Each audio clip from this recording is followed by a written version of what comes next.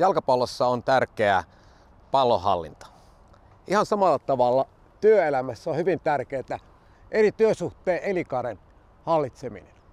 Jos joku osa-alue ei toimi, niin organisaatio ei voi toimia tehokkaasti. Hyvät työvälineet, niiden hallitsemiseen löytyy MEPKO palkanlaskennasta henkilöstöhallinnosta.